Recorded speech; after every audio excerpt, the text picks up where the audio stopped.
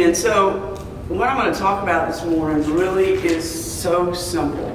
It's something that you, if you've been here longer than three days, you already know it. Um, but simple truths I've found here. I may know them in my head, I may have some sort of knowledge of them, but it's not the heart knowledge. And I have found that the simple truths are the ones that demand really and truly the most of it. Um, I'll just give you an example. Simple obedience. Simple as that. Not very simple, right? Um, it demands something of you. It demands that you change so that you can be simply obedient. So what I'm going to talk about this morning is that simple truth that we need the body of Christ around us. We need people around us that are mentors, people that are spiritual covering, people that speak truth. And by that I really mean speak the Lord's truth from the Word of God into our lives. Sometimes when we don't want to hear it. That seems simple, right?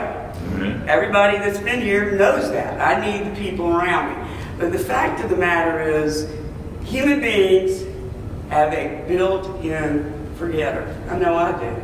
I can't tell you how many times I have resolved to do something, and I start off like gangbusters, and slowly but surely, over time, I slip away from it. Is that true for you too? I'm to give you a little proverb. Let me lay a little proverb on you this morning. Proverbs 13, 20.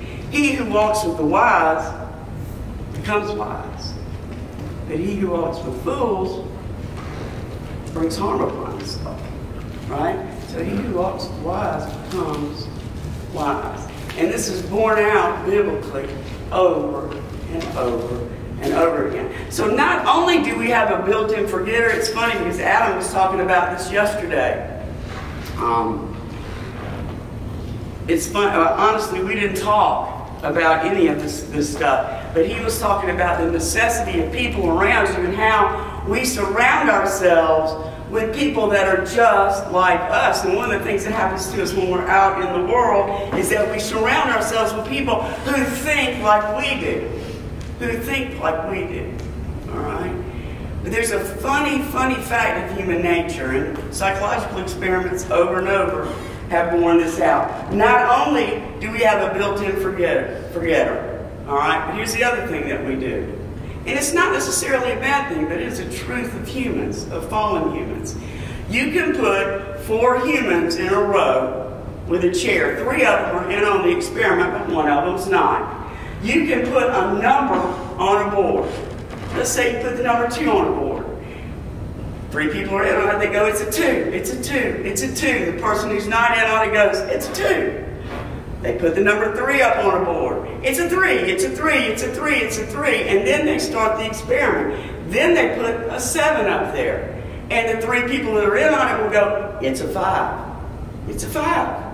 It's a five. The person that's not in on it, you can see them. They look at everybody else. They look back at the board. They look back at everybody else who seems so confident that that's a five. They will say, that's a five. That's a five. That's a five. Because that's what we do. With enough people around us, we slowly but surely shape our own perception to match those. You know, that's that peer pressure your mother warned you about when you were little, right? I mean, how many times, I got told this a million times. If everybody jumped off of a cliff, would you jump off the cliff? Well, probably would have. All right? But it is a fact of human nature. It's not necessarily a bad thing. It also is something that's built into us, born into us, because we are created like God, and we have the necessity and the desire for a relationship born into us. So this agreement that goes on where you will distrust your own eyes and agree with the people around you is not necessarily always a bad thing. If we didn't have it, we wouldn't have a spirit of cooperation. And the first thing you need to build any kind of society is a spirit of cooperation. Mm-hmm. If everybody's going off doing their own thing, nobody works together. We have to have the necessity for agreement built into us. But what happens to us is that good and godly thing becomes warped in us because the world gets a hold of it, right? And we get shaped to desires and beliefs that are not God. right? There's an example of this over and over in the Bible. So mainly I'm going to use two passages. You should know them well by now. The first one is in 1 Kings, and it's 1 Kings 18, 20. So while you're finding that, I'm going to tell you the second one is what I taught on last Friday. And it's in Luke 24. And it's the road to Emmaus. So why don't you find both? Luke 18, Luke 24, and then 1 Kings 18, 19. This is how quickly we become in agreement with voices around us that necessarily aren't good for us, even though we may start out with great resolve. This is why we need good, godly counsel around us. We need people to challenge us like they do here. Like they do here. All right? So what happens in 1 Kings 18 is the very familiar, I hope by now, story of Elijah at Mount Carmel. Y'all should know this. This is when Elijah the prophet brings fire down on the prophets of Baal. Right?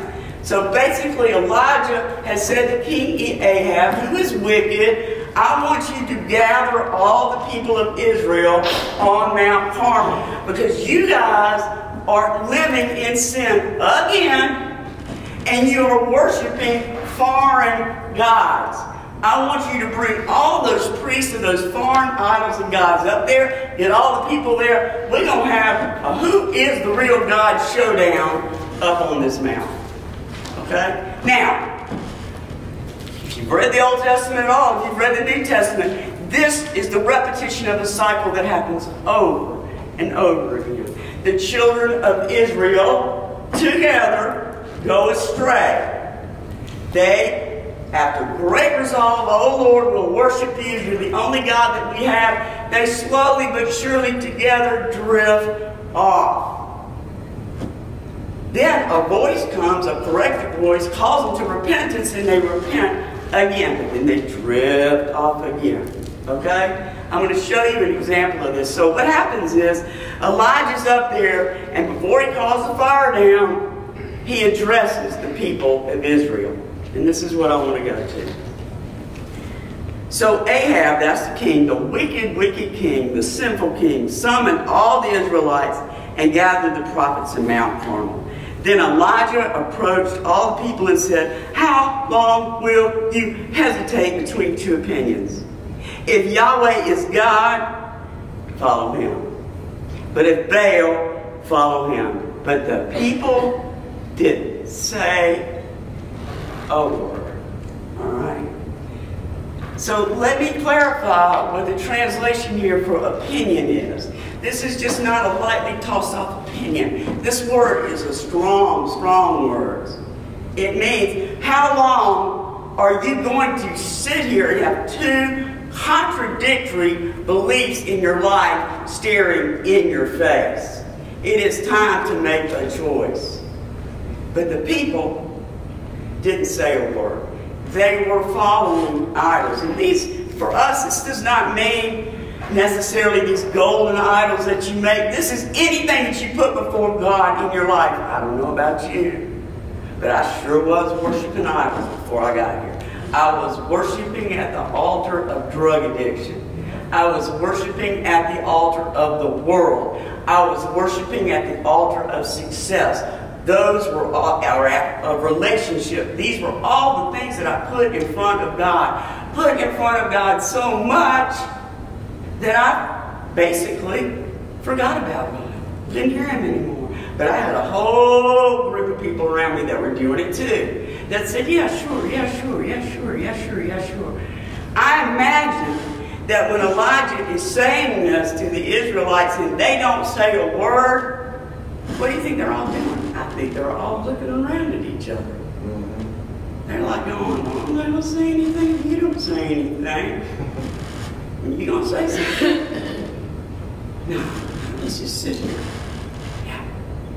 Yeah, I'm just going to sit here. Yep, not going to say a word. I'm not, I'm not going to say a word. I'm going to stay deluded.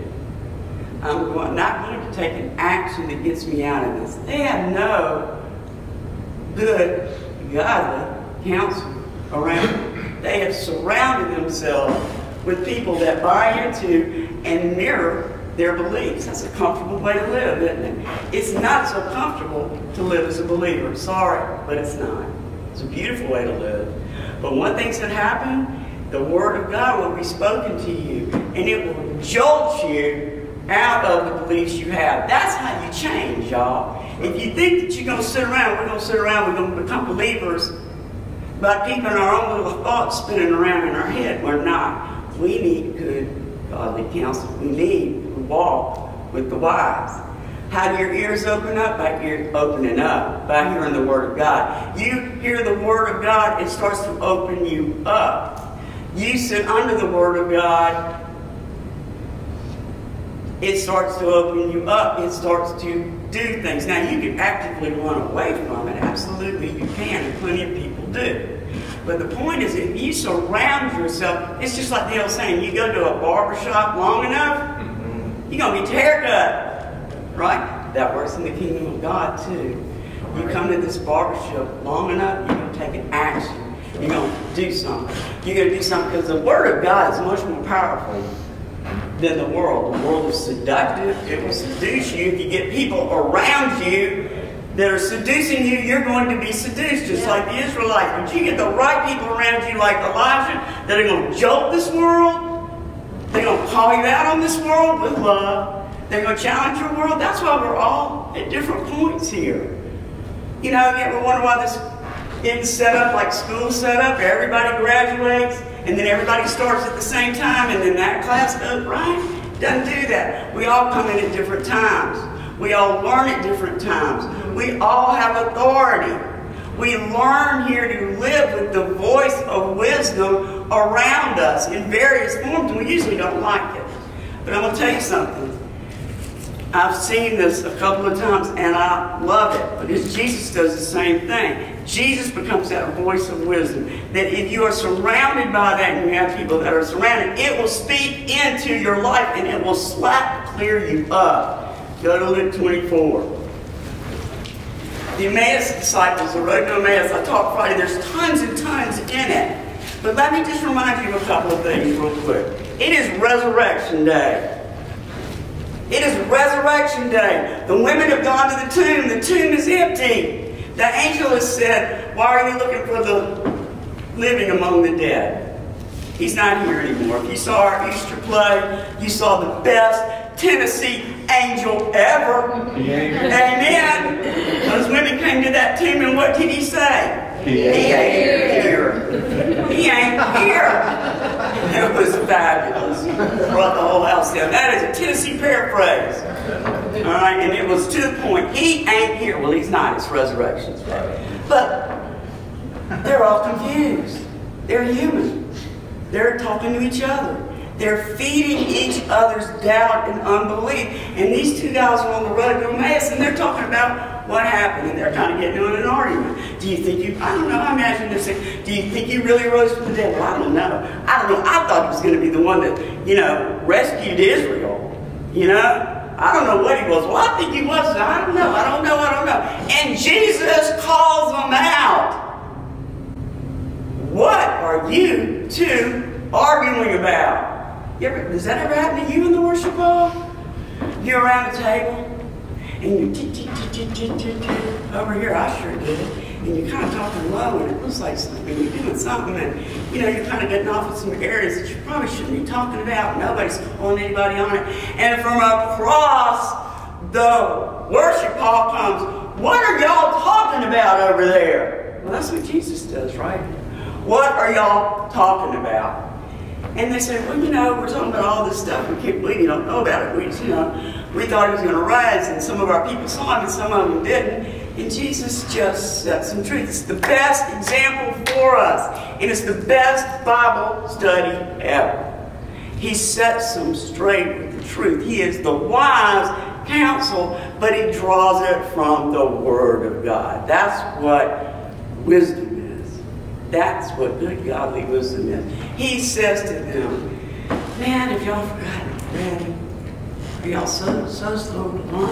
Let's just go back through and settle this argument about who he was.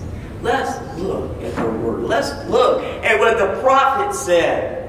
He had to go through this. He had to suffer. He had to die. He had to resurrect. He had to be glorified in fulfillment of the scriptures, to give scripture after scripture after scripture.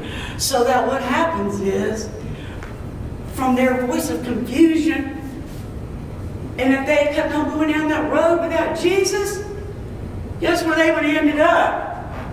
Probably worshiping some form of idol, a political idol, insurrection, the overthrow of Israel, the idol of doubt. All right? Because they're on their own way. They needed the wisdom. They needed the voice. They needed the teaching from the Word of God to address them. And then what happens to them? Holy Spirit speaks to them through the words. And the words change them. And they say to each other, Weren't we on fire when He spoke to us? Didn't we see what He was saying? Because that's what good godly counsel around you is set up to do. It's set to check you, it's set to correct you, it's set to lead you to the truth. There are no, there's no room for people going off under their a, under their own steam, right? Following their own drum, flying solo in the kingdom of God. It is the most dangerous thing you can do. To have an idea bring it up with your counsel and not have it confirmed, and then go and do it anyway. It happens all the time because that's what we do. We aren't we aren't obedient, right? We worship our own point of view, right? And we're going to find people that agree with us. We're going to find people that agree with us. We are. We are. So that we're going to be sitting there looking at the truth, looking at the truth up on that blackboard, and three people next to us are going to go, "Ah, that's not the truth. That's not the truth. That's not the truth. And we're going to say, that's not the truth. Or even worse, we're not going to say a thing. We're not going to say a thing. We're not going to say a thing until the fire from heaven comes down. I would rather feel the fire that Jesus puts within me. I would rather make that choice to sometimes hear the hard thing, to get called out. What are you talking about? Let me set you right. What's going on in your head? Let me set you right. Okay. Might not like it, but boy, I need it. Thank you, Lord. So you surround yourselves with wisdom. You surround, yourselves with wisdom, and it helps you walk on the path. You surround yourself with fools, you're going to get in the way of harm and error. Amen? Amen. Amen. I'm not sure how encouraging that was, but there you go. Anyway, Susan M., will you pray?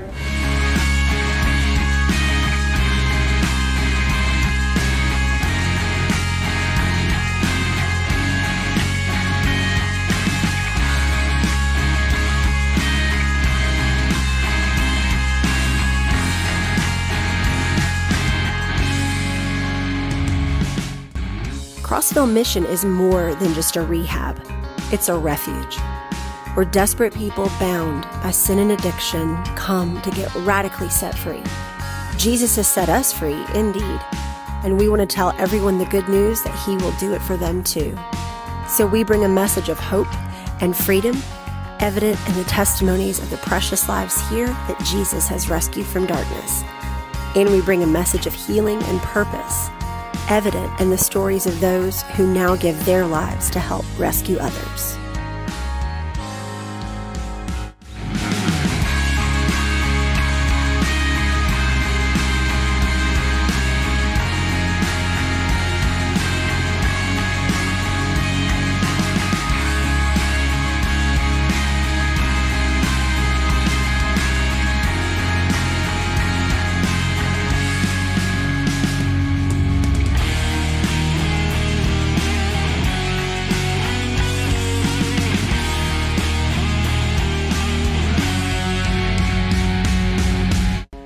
We'd love to come and worship Jesus with you and share the truth that no one is beyond his love and grace.